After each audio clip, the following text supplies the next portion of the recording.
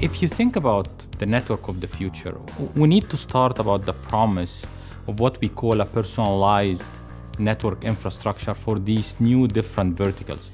Talk about connected cars, um, connected health, connected home, smart city, smart grid.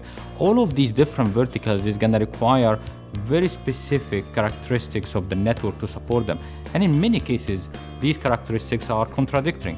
Sometimes you need low latency applications for connected car, and for other applications where you have video intensive uh, applications, you need more enhanced broadband. So, with this promise of the new network supporting you're talking about what we call network slice. A network slice, it is what 5G is promising to bring in, is a, a slice across the entire network domain to satisfy these characteristics. Now, a network slice, if you think about it, it starts from the radio frequency. You need a slice in the radio frequency that can be programmable.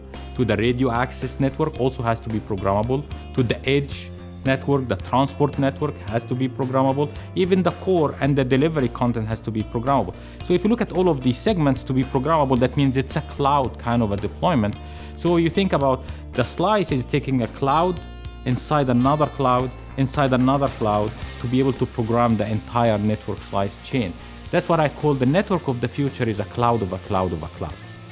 So today, actually, currently, there is um, the enhanced LTE, or we call it LTE Advanced, or sometimes people call it LTE Pro, is already being deployed, and, and it focuses a lot on, you know, uh, new cloud RAN or CRAN um, that is also operating in unlicensed, um, uh, we call it LTL license. So we are already seeing this current um, uh, evolution happening in the radio access network.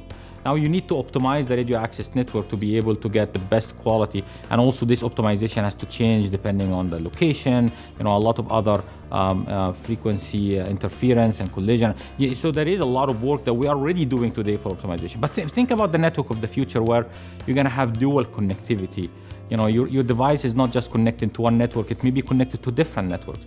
So the definition of cell disappears. And now how are you going to optimize? How are you going to optimize when you have your call at the same time you have you know uh, iot devices running on the same network? So this kind of optimization brings in a problem that needs to be worked out in a different way and viavi is really focused on this new area of you know device densifications how you're going to optimize the network within that and RAN optimization in the new cloud definition is going to become not only an essential part to optimize the customer experience, but it's important actually to define how you're going to program the network itself. If you look at the promise of the new network, if you want low latency applications, I mean, a car is connecting to another car, you, you don't want to wait milliseconds for an, an, a decision to be made that can prevent an accident, right? So you're talking about low latency, very, very low latency application. The, the transport network that is supporting that has to change. So today we're already working in what we call the new cross haul. It's not a front haul and back haul, but a cross haul where you know you need new definition of programmability of the ethernet and the transport network.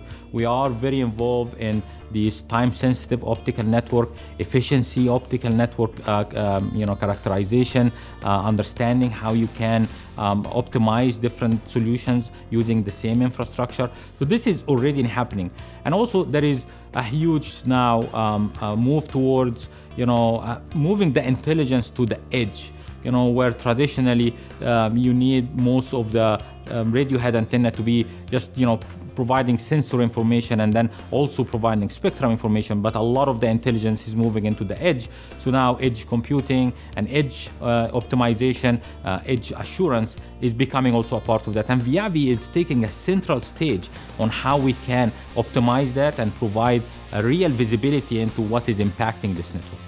At the end of the day, what you really want to get is to get a, a good customer experience. That, that's the whole point. I mean, you promise a new network, but you don't. You also want the, the, the user who are watching video using 4K, you know, TVs or you know doing virtual reality to have the best experience. And that's that's the whole promise of that. But at the same time, you're also opening new business opportunity for machine to machine and you know Internet of Things. The question now is how these impact each other. I mean, how when you're moving into an area where there is a lot of IoT, how the signaling doesn't impact your video experience.